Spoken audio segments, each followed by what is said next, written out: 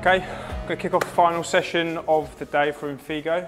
Um, I'm going to introduce Douglas first of all, if you don't know him. Next slide, please, Douglas. Real quickly, thank you. This is Douglas. Um, there's a boring bio there about him. Um, that's not why we work for Douglas. We work for Douglas for many other reasons. Quite an interesting and rare find is Douglas. Um, calls himself an engineer, semi-creative, and a bit of a bit of a technical geek. Actually, all of those things are true, and that's what makes Infigo so special because he has an understanding or broad uh, concept of a complete workflow. So, um, yeah, that's one of the reasons why um, Infigo is so successful. Apparently so. Lovely, Chris. I'll let you introduce yourself, No, no, Chris. it's your turn. No, no, go on. It's your turn. Hi, I'm Chris, head of global marketing for Infigo. Love what I do, love our product, love our customers. That's it. So we're here, we're here to talk a, a little bit about um, what it is to develop um, a digital strategy um, that allows you to compete in this sort of crazy world that we live in. Um, and ultimately, it's about producing something that's repeatable um, and something that you can um, use a bit of science behind rather than just looking at your sales process an e-commerce business as a standard way of growing and developing your um, business. So we've created this framework and it's something that has evolved over the last 18 months, two years, um, to help our customers um, that use our software, but it's also um, very, very repeatable for customers that haven't yet moved over to the, the bright side of Infigo um, on developing their business. So we need to look at how we can move away from a very traditional process of having a salesman knock on doors, driving leads, and developing their business. Um, to be able to achieve um, efficient growth and build what I would class as some stability um, into, into the organization, something that we can easily manage and then obviously drive scale. Um, we need to change from the typical ways that we've always done business and print is a great creature of habit um, for many, many good reasons, but the world is starting to move at a much faster pace and how we grab and, and, and generate customers an opportunity um, is, is very different. Um, and a lot of businesses are keen to look at how we can do this in, in different ways. And we'll put this um, hyper growth strategy together to actually help our customers scale, not just in our product, but within the general sales and the business. Um, and we've all done a great work on bringing digital kit into the business. Um, we've maybe looked at automation. We've talked a lot about automation today. Um, but how are we using digital transformation to improve and drive growth within, within the business? So we've de developed this um, hyper growth framework um, and it is trademarked. If you look up, the trademark is 6538126541238.66. So if you just want to look that up, it is trademarked. but it's really, um, it's about adoption within the business, it's about adoption within new clients. So the who, the how, the what, and the review. So if we look at um, the pillars of how we can adopt a digital strategy, how we can adopt growth, um, and we've heard from a couple of our customers and, and, and customers of Enfocus and Esko today of how they're growing their businesses, and you've got the likes of, of Bluetree and, and others that have developed an online strategy. So we need to look at how we can bring that within our core business. So we look at this in, in, a couple of ways. So the who, so who in the business owns the proposition of taking that to market? Who in the business can sell and demonstrate your proposition? Who in the business can set up and train and support? Because without that who, then a lot of these ideas and plans just fall flat on their face and it just becomes um, a, a, an idea and not a great execution. So we then look at the how, how do we sell it, how do we onboard it, how do we change the business. um, to allow the adoption? Um, how do we manage it now and in the future? And how do we scale that? So we've got lots of customers that want them on board. Roger mentioned earlier on that it's great, but I'm now building lots of these sites. So how can I scale that process as well? the what, what is it that we're selling? And very much today, which I'll touch on a little bit more, is about the brand. How are we representing ourselves? How are we representing the solution? What is it we're offering the clients? What does that look like? How can we um, take that to market? How are we going to target those particular customers? Who are the customers we want to target? What's it called? What's included in the package we're selling? And then probably the most important is the review. And this I'll categorically um, gets forgotten about every single time. How are we reviewing the success? How are we reviewing um, the, the progress? What are we doing? Because a lot of these strategies get um, pushed away once the business as normal comes in. So putting things like the review, how's it going? And not just within the business, but actually with your customers that are using the software. Um, I'd be interested to hear how many of you guys are, are doing client surveys to see how they find you, how easy it is to do business with you and, and things like that. Um, I don't know, how, how many put your hand up if you're doing things like customer surveys to your customers? Apart from Alex. so maybe a couple, but it's, it's amazing actually how we're not asking a customer. And I was speaking to a business in, um, in the US a few weeks ago, and, and the, the CEO said to me, Doug, he said, fairly big business, 100 odd million turnover. He said, Doug, he said, we've become really difficult to do business with. And when he actually went out and did a review before he'd taken on our, on our software, um, the feedback was they loved the product, they loved what they did, but it was really difficult to interact with them.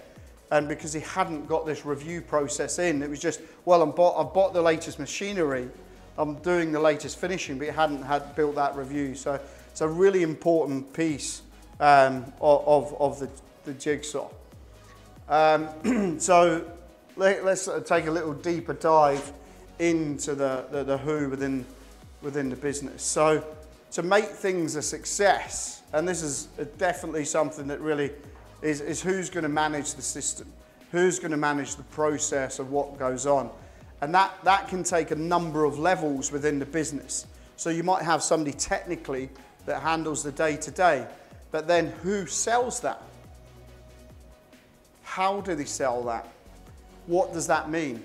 Um, and these things are really important because, because without identifying somebody within the business that has those responsibilities with targets, with demonstrable value to their customers, then they're going to be really lost um, with being able to put a framework and a, a strategy with this. Um, so they really need to be um, detailed. You need to align who that person or people is going to be. And then you need to be able to start and put some alignment in what, what we're actually delivering. So we've got those demonstration things. Everybody says, right, we've got this software, we've got this product. Who's going to demonstrate it? Oh, well, it can be the tech guy. But then the tech guy does a demonstration. Now he's not doing setup. And now the setup's getting, uh, getting delayed, and, but he's doing lots of demos, but you're not, you're not fielding that ability to then um, scale the business. So it's having that foresight in that thing to actually think about these things as we develop. How do we install as the customers um, um, on board? What does that time frame look like? How often do we, are we setting that goals and that that detail together with our customers. And, and this could be a delivering a B2B solution, it could be delivering a B2C solution, it could be delivering just a single template. But having that, that, that framework, both internally and externally shareable with your customers, um, is really important. And then once the system is up and running, who will be working with the customer? Um, my, my, my theory is it's probably the tech guy again is now, he's done the demonstration, he's now um, done the install, and he's probably now taking the customer through that process. And the reality is if you want to scale and get growth, you need to start and break that out in the business. And customers often come to me and say, Doug, I've got, we've got five or six customers, we've got 30 customers, but I want to get 50 customers, I want to get 100 customers. And what you often find is in, is in different businesses, and it doesn't just, it isn't just a small business, also the larger businesses, they haven't identified to multiple people that can support and grow the process. So it's really developing that, that who um, within the business. And I'm going to kick over to Chris just to talk a little bit about the what and the brand and stuff like that as well. Um, yeah, so um, this is pivotal for whether it's B2B, for your customers, or for a B2C, for a project of your own, before you can go to market, you need to understand what your message is, how you want to wrap that up, what solution um, you're selling, and what problem you're going to fix for your customer or your customer's customer. Alex showed earlier on a, a new brand of ours uh, from Figo Eco. We're trying to identify very quickly, visually, and well, reading the brand as well. It says what it does very, very quickly. Um, but then the key thing is moving from the brand, where you're going to find the ideal customer, or where you're going to help your customer find the ideal customer. Um, what kind of tools do they need? Do some market research, find out what kind of um, budgets need to, you need to uh, attain in terms of marketing and reaching those customers. It might be um, a new venture you're looking to launch, um, like a, a side B2C project, or again, you might have a customer that's come to you and said, I want to launch a site for this, how can you help me, etc., etc. So make sure you, you get the numbers, do the research, and also be open-minded. Don't always think about going for the, um, the, the standard channels. There could be a certain product that might be reachable on a different platform that you've never thought of. So maybe get somebody from the outside in to give you a little bit of intel on that particular uh, client persona. Yeah, I think that's really important. I was, was with, um, spend most of my time um, in front of the customers these days. I should be in your team, Greg. Can I have a job? See. I'll send you my CV. Um, and, and talking about um, what, what it is, and, and the customer developed this really cool proposition, um, bought a new piece of kit, um, and as, as, as what normally happens, I bought this new bit of machinery, how can I now sell it? Uh, rather than, oh, let's sell this, this service and we might get some kit to go with it. Always the, uh, always the other way around. And I was asking them about, well, how are you going to go after the, that particular customer? And the discussion was, right, well, I've got John, the salesman, he's brilliant, he's going to be in there, he's going to be knocking doors. And, and I was like, oh, that's interesting. I said, so you want to go after, and it was financial services customers. I was like, so has John got any relationship in there? No, he's never spoken to them. I was like, so you're going to get how many of these customers and how? And they wanted to onboard roughly it was about 200,000 worth of print a month to, to make this um, a justifiable um, process. So poor John's now got this enviable task of knocking on doors, ringing. I was like, well, what about using LinkedIn? Because we can very quickly um, get to those guys very quickly. And he was like, what do you mean LinkedIn? That's just a networking. I can't get leads from that. And we start to, talk about, right, well, for your different customers, you're going to have to have different channels to market. You can't just be that traditional way of, well, I'm going to use this way, I'm, I'm going to use that way. So we actually put some ideas and thoughts around those different concepts. We introduced some, some tooling um, that you can automate some of that LinkedIn process identify the list of these customers, and he was able to start and drive within very, very quick time um, some, some leads and stuff like that, whereas normally the traditional process. So it's important that you formulate this into some sort of strategy. Um, and ideas that are not written down will never happen, and ideas that are written down that don't have a plan, you'll never be successful and you'll never get to scale. So you need to make sure that once you've got the people, you then support that with a business plan. And I'll be keen to hear from the, the, the, the, the, you guys on how many new ideas you support with a business plan. If you don't want to put your hand up, you obviously don't have to. But in your, so you've got a new year coming up, maybe January. How many guys, how many people are putting a business plan together to talk about new ideas and, and, and new thoughts? Maybe a show of hands. Love that. It's, it's amazing. Um, and I'll take that as, as just embarrassed that you don't want to just be the one that puts the hand up all the time. But it's, it's absolutely mental that the, there's maybe uh, uh, and this customer, so they worked out they had 200,000 pounds to generate print. I was like, okay, brilliant, fantastic. 200 grand that's going to drive million pound plus a year. Um, how many how many people do you need to speak to to get to that 200,000? What do you mean? I said, I just need 200,000. Well, you're going to have to get some metrics that you're going to need to speak to 10 people that will get you one lead that will drive that opportunity. Absolutely blown away. I was like I was just talking, but he's just invested several million pounds, understood that he needs 200,000 to drive it, but no strategy or business plan to then support that.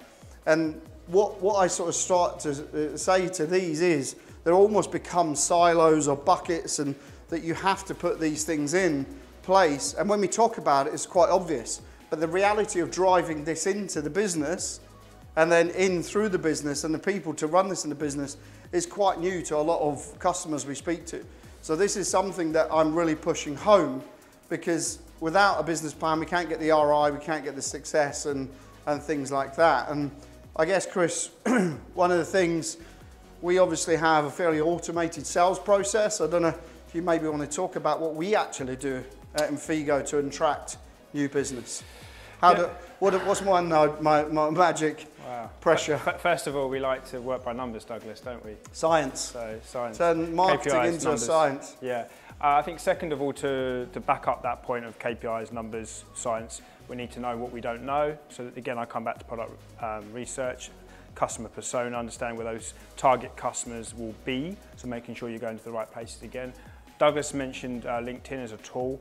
Um, we're not just talking posting on LinkedIn, there's many third-party tools that fit into LinkedIn that will look for job title, um, you know, company, sector, etc., etc. So you can literally drill it down to a label converter in North America in this state and you can focus on those verticals.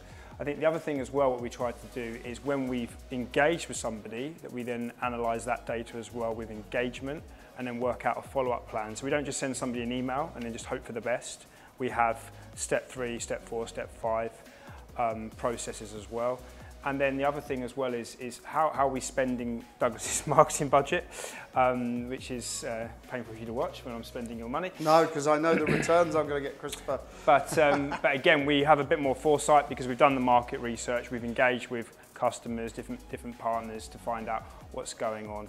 And then finally, I'd say, again, I mentioned partners. We speak to partners regularly and we find out what they're doing. Um, yeah. So something we've learned from our time in America where it's a bit more communal, people share a lot more information. Uh, in the UK, it's not so much, and I think that's changing, but we try and speak to the partners, we go on the phone, we say how you, how you approaching this event, what's the uh, return on investment for that event, what did you find here? And so we, again, coming back to what I said at the beginning, knowing what we don't know, market research, and then working by numbers. Yeah, absolutely. And I think so to distill this in, in sort of summary, number one, you have to look at the proposition of brand that you're offering and be proud of it.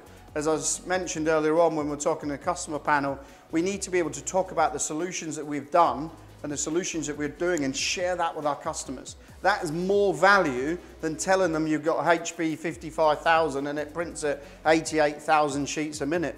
Who gives a damn?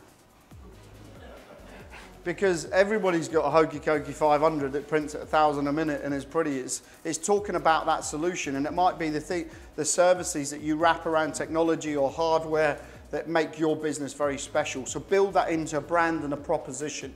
Be clear on what that proposition is to the customer. Work out some targets, a business plan that you want to get, and what that looks like from a perspective, and something that is owned right the way from the CEO right the way down to the guy that maybe stacks the paper in the machine. He might not be as motivated, but it's important he understands that there is a plan within the, the, the business.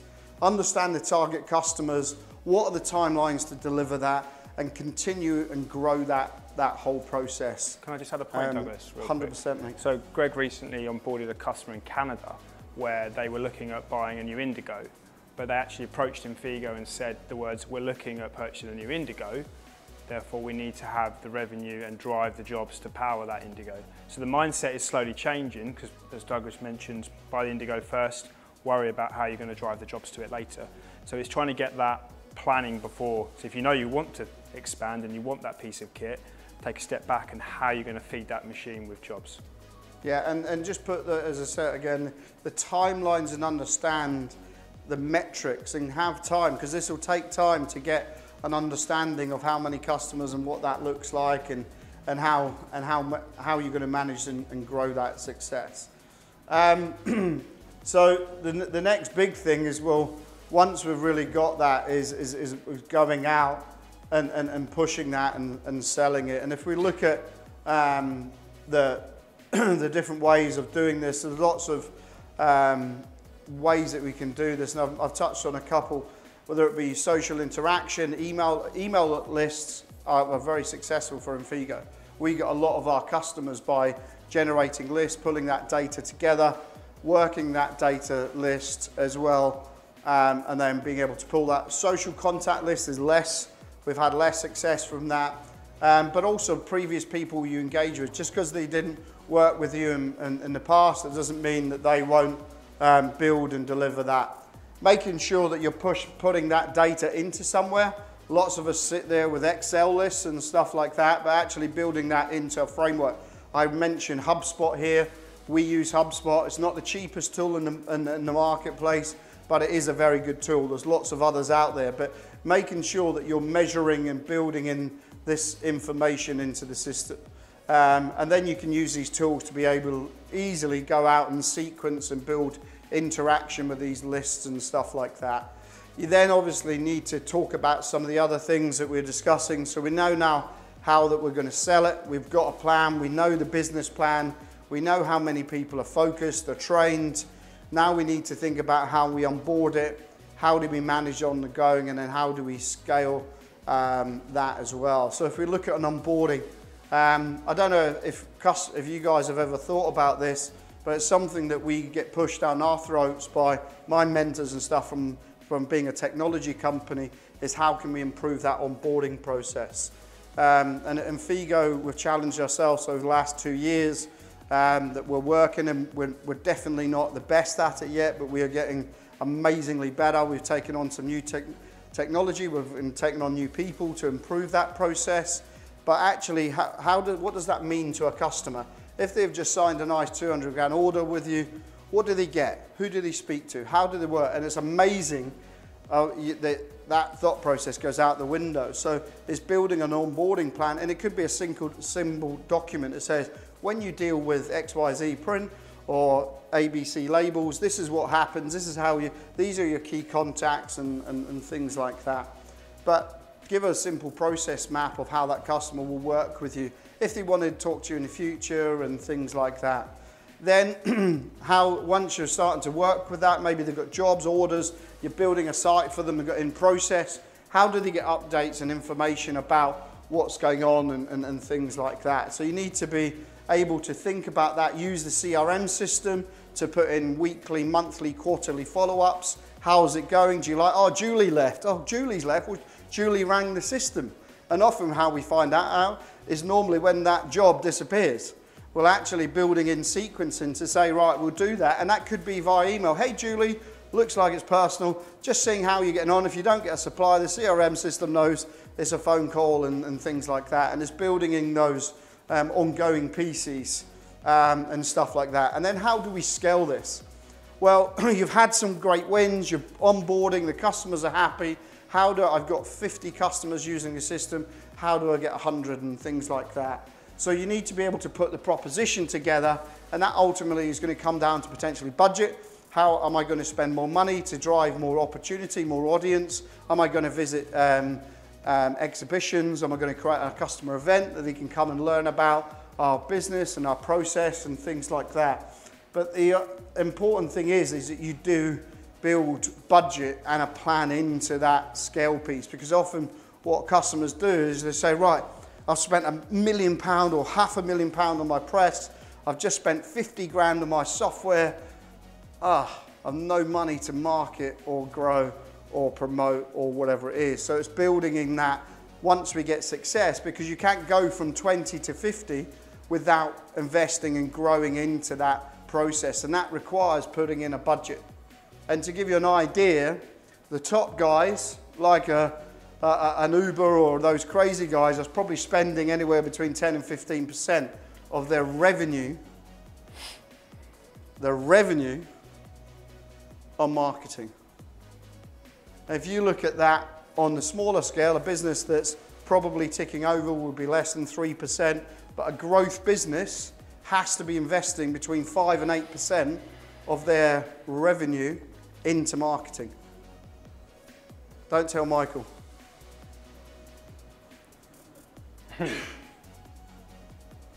it's amazing when you actually start and look at it. And, and I visit a number of businesses like we've had success, we're winning, but we're not seeing growth. And, and there, is, there is no value, there's no impetus put between, excuse me, um, investing and growing this. And, and, and, and without that, you're never going to get to that um, scale and success um, piece.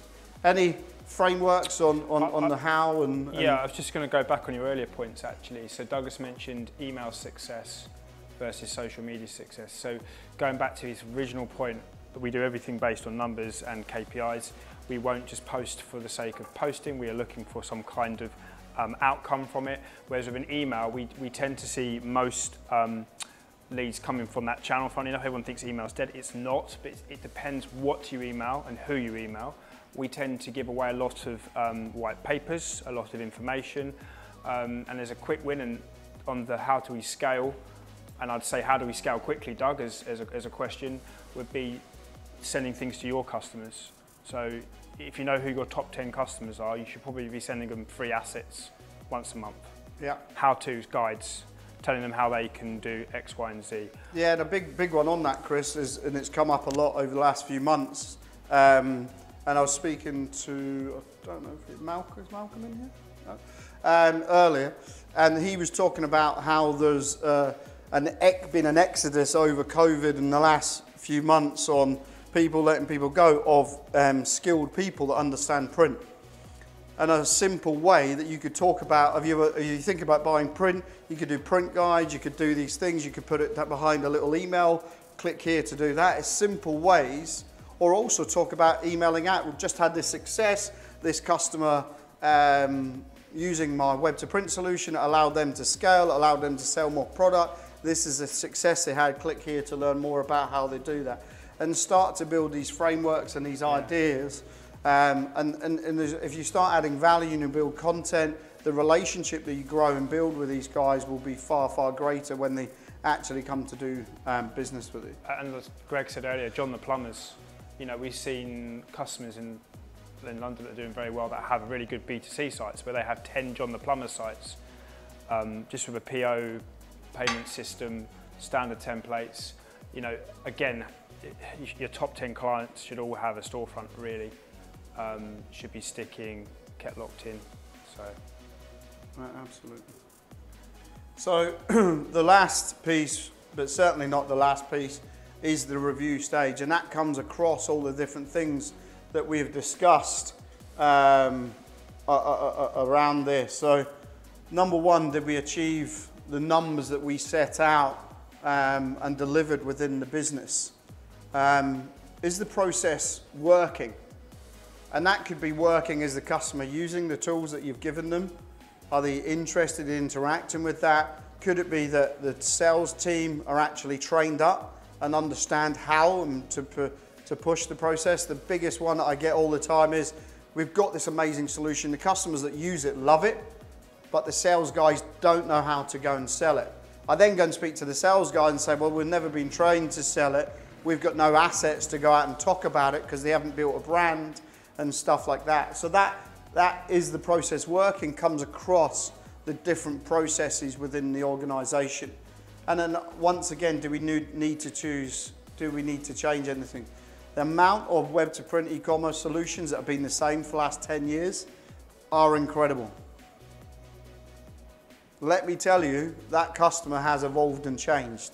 So if you're not going in there and developing, their buyer needs are changing, how they interact, the skills of that. Um, we had one customer ring up and say, right, we have got the site, Doug, absolutely terrible, your system's a load of shit. Beep, beep. Um, we don't like it, we're getting rid of it. And I'm like, fantastic, I, I agree with you totally. Um, thank you very much for the call.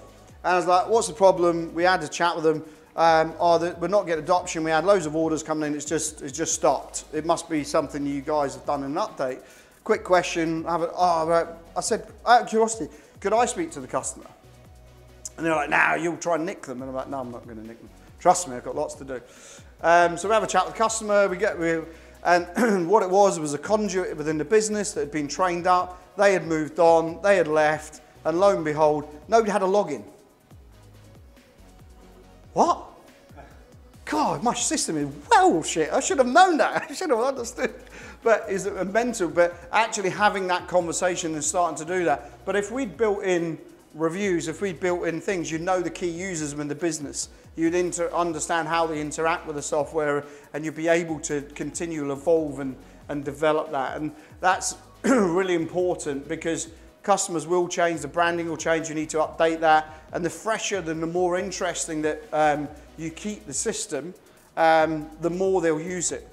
It becomes like their internal, your internal marketing um, for them um, within that. But you need to be able to review these things at different stages um, and ultimately measure the success of the client. So ask the question, we work together to build a solution for you.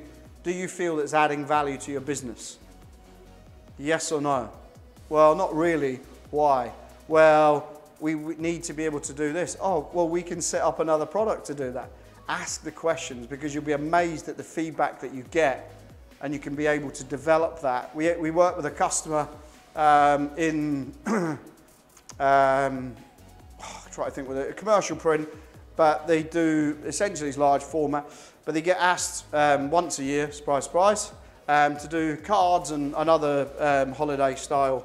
And I was like, why don't you take that and offer it to all your customers? Why don't you put at Christmas the availability for all your customers to be able to order greeting cards or templates and stuff like that? I then said to him, whoa, why don't you put three or four products that they could upload files that are non-templated that you agree some standard pricing. Oh yeah, but we don't get that work. Let me tell you, you put that up there, you're going to start to get some of that work. So it's reviewing, agreeing the changes, looking at what the success is, and coming up with ideas. Agree them, and some of those changes might be internally within that business as well. And it might be, hey guys, right, these are the three things I'm going to do. These are the four things you're going to do. Agree and have that conversation, lock it and load it. And in 30 days, 90 days, you've got a great customer. You go in, you agree, you don't have to take any, any donuts. You've saved three pounds at Dunkin's and away you go um, for, the, for the next part. But then you've also got a key date in the diary for being able to engage and have that conversation with them um, at the next time. Anything to? I was just going to say, obviously you developed this framework some time ago, so it's been tried and tested. But ultimately, what we've seen is it works well for you as the PSP, but also for your customers as well. So as Douglas was saying about review, you could offer this as part of the service to your customers and then hold them accountable in the review process as well. And it's like a two-way thing then as well. So there's, there's two ways you could use this, A, for your own business, and then B, for your customers' uh, projects as well. Excellent. So that, that's me. Any questions, thoughts, um, anything that I can help with? We, we now have a few minutes before we're going to go upstairs and get absolutely wasted. Um, no, not true, by the way. Uh, I have my car at the um, train station. Any questions, guys? Thoughts? Load of rubbish? Liked it? Some interesting stuff? Questions? No? Very quiet, interesting, provoking, thought provoking.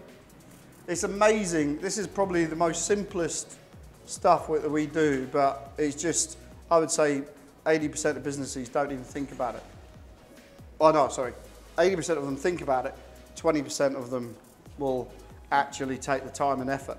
And let me tell you, those 20% are the ones that say, oh, how do I be like that? And it is by taking frameworks like this and pushing it harder within their organisations. So thank you very much for your time. If there's no questions, I will close the session.